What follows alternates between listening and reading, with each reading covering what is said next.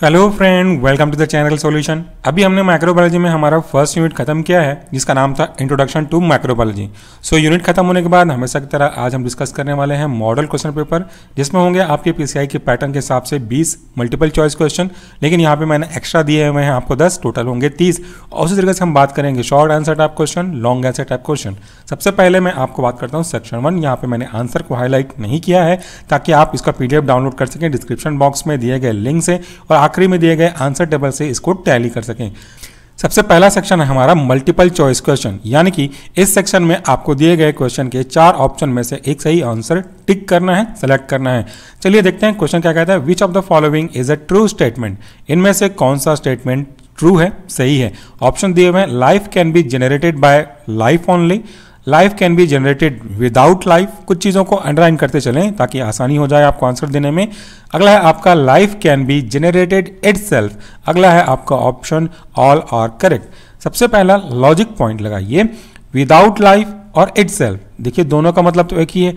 Life can be generated without life life can be generated it यानी कि ये अपने आप जनरेट कर रहा है और दूसरा बिना लाइफ के कह रहा है। ये दोनों ऑप्शन तो गलत ही हैं। और अगला जो ऑप्शन है ऑल और द करेक्ट भैया जब दो गलत हैं तो सब सही कैसे हो सकते हैं? तो ये हमारा ऑप्शन भी गया। तो राइट आंसर क्या होगा? Life can be generated by life only यानी कि लाइफ के द्वारा दूसरी लाइव जनरेट हो सकती है। यहाँ पे तीसरा वर्ड थोड़ा कंफ्यूज कर रहा होगा। Light can be generated it मतलब लाइव अपने आप जनरेट कर लेगी। ऐसा तो पॉसिबल है नहीं ना? तो हमारा जो सही आंसर होगा, वो होगा ए अगला क्वेश्चन है which of the following scientist played an important role in disproving the spontaneous genesis of life यानी कि इनमें से ऐसा कौन सा साइंटिस्ट है जिन्होंने इस स्पॉन्टेस जेनेसिस ऑफ़ थ्योरी को गलत प्रूव किया डिसप्रूव किया, या ए बायोजेनेसिस को गलत प्रूव किया?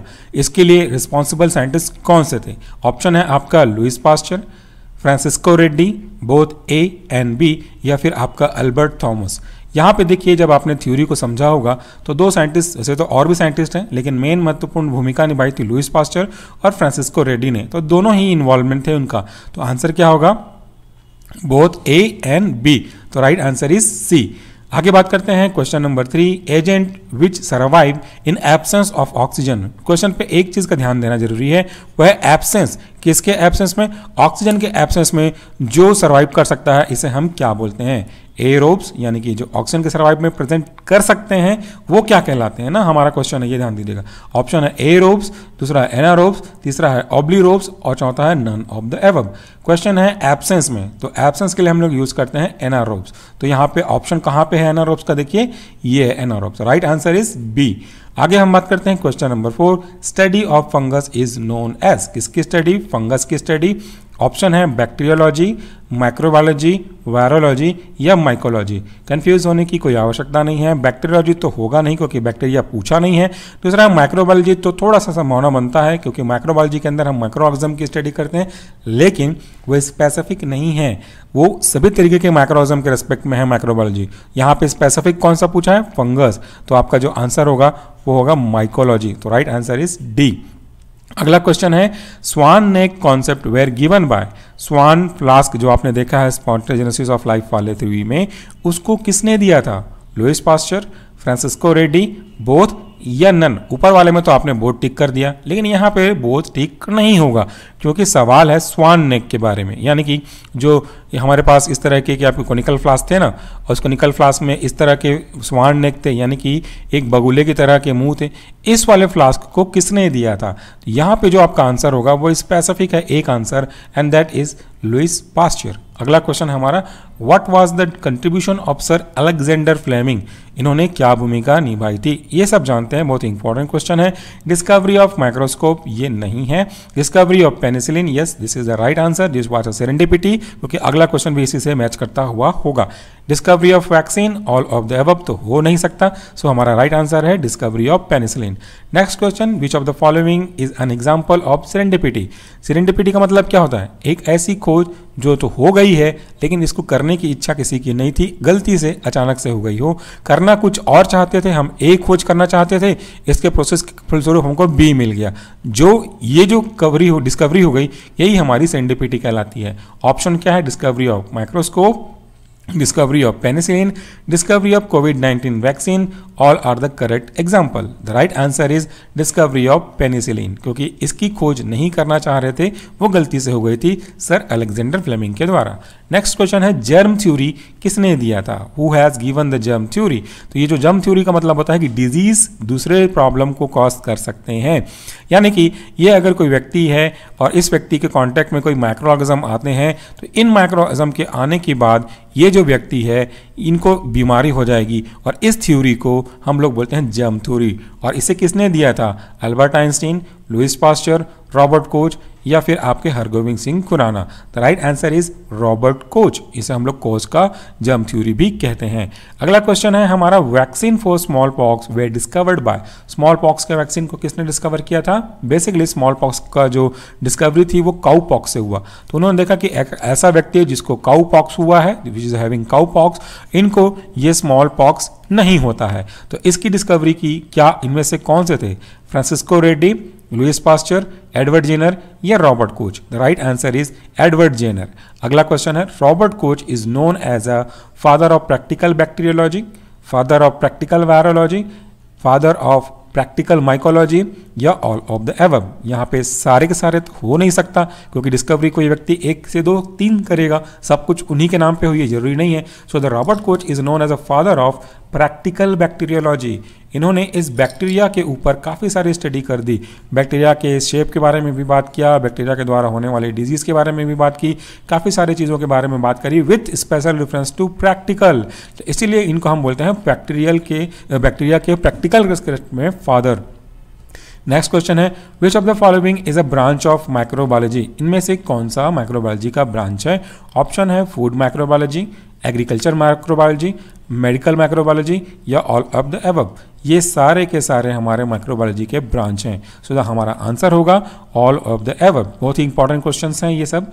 अगला क्वेश्चन है antibiotic which inhibit the growth of bacteria is termed as question पे एक पॉइंट पर फोकस करना है। वह है इनिबिट यहाँ पे हमको इनिबिट करे बारे में पूछा गया है। सो ऑप्शन है बैक्टीरीसीडल बैक्टीरियोस्टेटिक जर्मीसीडल या बैक्टीरियोस्टेटोकोइडल? इसका क्या आंसर होगा? इनिबिट के बारे में हम बात करते हैं तो वो स्टैटिक वर्ड आता है। तो यहाँ पे देखिए कौन सा ऐसा है जिसमें स्टैटिक वर्ड आ रहा है? यही है बैक्टीरियोस्टैटिक तो यहाँ पे आपका सही आंसर होगा। आंसर बी बैक्टीरियोस्टैटिक सीडल का मतलब होता है उसको पूरी तरह से किल कर देना। Next question which of the following is use in fermentation process fermentation process क्या है? अगर हमारे पास कोई ऑब्जेक्ट है दिस इज़ ऑब्जेक्ट ठीक है? इस ऑब्जेक्ट में हम माइक्रोऑर्गेजम को फिट करते हैं। तो ये जो माइक्रोऑर्गेजम है फाइनली इसमें से CO2 प्लस एथेनॉल बना देगा। एल्कोहल ग्रुप बना देगा तो ये आपका फर्मेंटेशन कहलाता है। तो इसमें लिए क्या क्या ज़रूरत पड़ती है? ईस्ट की शुगर की बोथ ए एंड बी या सॉल्ट या विनेगर की। ईस्ट की भी ज़रूरत पड़ती है शुगर की ज़रूरत पड़ती है। और ये दोनों कहाँ हैं? ये option C both A and B तो राइट आंसर है ऑप्शन सी अगला क्वेश्चन है absolute removal of microorganism from any given object is called और term as most specific answer ये वर्ड बहुत ही महत्वपूर्ण है। एब्सोल्यूट पूछ रहा है। अगर मेरे पास कोई ऑब्जेक्ट है, इसमें बहुत सारे माइक्रोऑर्गेनिज्म है तो इनमें से सारे के सारे माइक्रोऑर्गेनिज्म को मुझे खत्म करना है तो वो क्या कहलाएगा?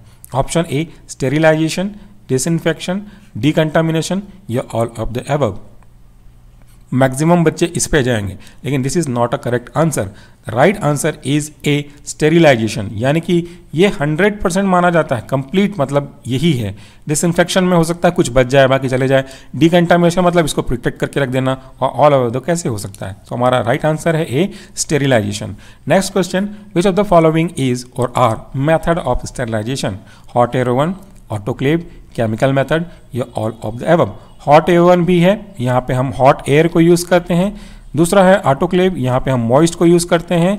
और तीसरा है आपका केमिकल जिसे हम लोग कोल्ड स्टलाइशन भी बोलते हैं। तो ये सारे के सारे आंसर सही हैं, इसलिए राइट आंसर है हमारा all of the above next question cell which does not have well developed units ये ऐसा सेल जिसमें बहुत ज़्यादा डेवलपमेंट नहीं नज़र आता, वो क्या कहलाता है? प्रोकैरियोट, यूकैरियोट बोध या मल्टी लेवल ऑर्गेनिज्म, ये तो कोई ऑप्शन ही नहीं है।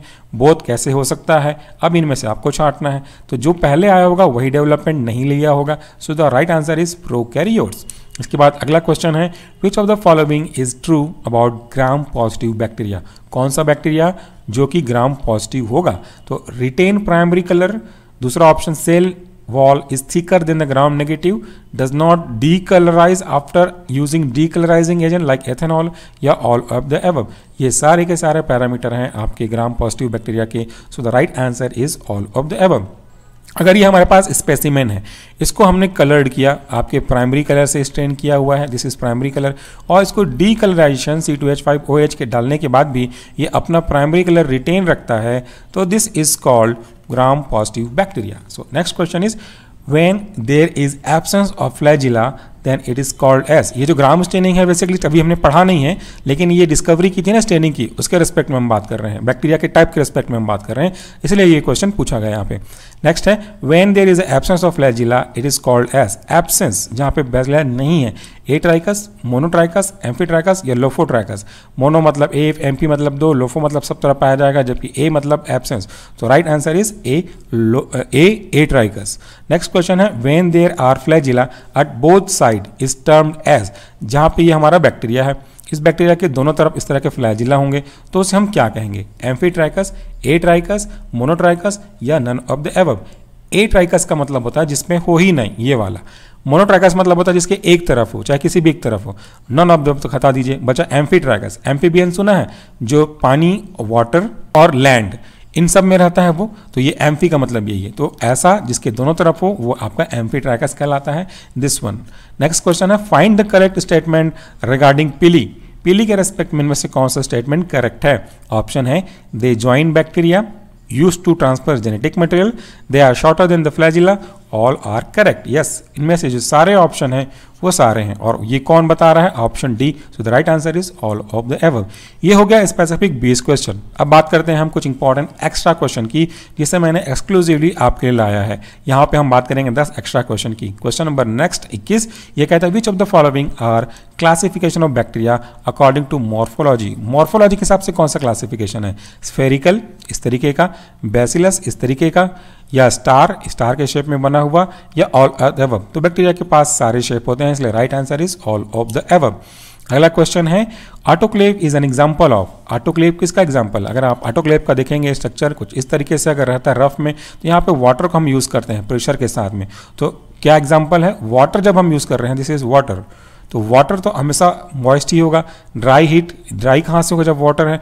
Moist heat yes it is right answer chemical इसमें हमको यूज़ नहीं कर रहे हैं रेडिएशन का चांस ही नहीं है। तो right answer is B moist heat sterilisation next one is pasteurisation is a technique of pasteurisation क्या होता है? Curd formation milk formation milk preservation या मिल्क फर्मेंटेशन या it is a preservation technique तो यहाँ तो फॉर्मेशन का दोनों ऑप्शन गलत है। Right answer is milk preservation इसमें हम क्या करते हैं? हम एक बर्तन जो हम लोग जो घर में करते हैं वो, इसमें मिल्क रखा जाता है। मिल्क को इग्नाइट करते हैं और ये मिल्क कन्वर्ट होता है वेपर में। एक पर्टिकुलर टाइम तक इसको हम लोग गर्म करते हैं, एक टेम्परेचर पे कोल्ड टेम्परेचर से ऊपर लेकर के गर्म करते हैं, फिर इसको हम वापस से ठंडा करते हैं। सो दिस टेम्परेचर प्रोवाइड करना this is as example temperature provide करके ठंडा करना, यही पास्चुराइजेशन कहलाता है। और इसके कारण से जो बैक्टीरिया प्रेजेंट होंगे, वो डिस्ट्रॉय हो जाते हैं। Next one fermentation technique was given by महत्वपूर्ण क्वेश्चन है, किसने दिया फर्मेंटेशन को?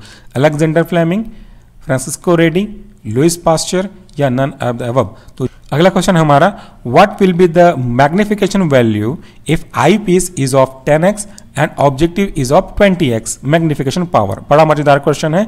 आई पीस कितना है आपका? 10x ऑब्जेक्टिव कितना है आपका? 20x तो ये क्या होगा? टोटल मैग्निफिकेशन देखिए, पहले ऑब्जेक्टिव की बात कर लेते हैं। ये हमारा स्पेसिमेन है। इसके पास ये रहा ऑब्जेक्टिव कितने का? 20x तो अगर ये x सेंटीमीटर है, यहाँ पे कितना बन जाएगा? ये बन जाएगा 20 सेंटीमीटर अब क्या है? आपका आई पीस आई पीस कितना है? 10x का।